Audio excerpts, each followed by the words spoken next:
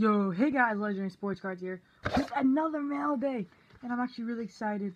I don't know what it is, to be honest. I have so many packages coming in for the card dropping, and next week. Um, you'll, it, I'm doing a vlog.